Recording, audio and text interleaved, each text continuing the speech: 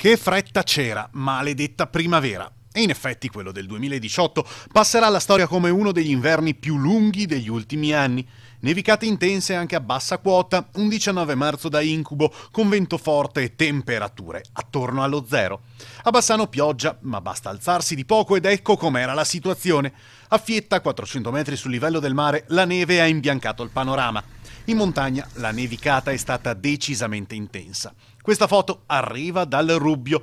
Qui invece siamo a Campo Solagna, una trentina di centimetri di neve caduta in poche ore.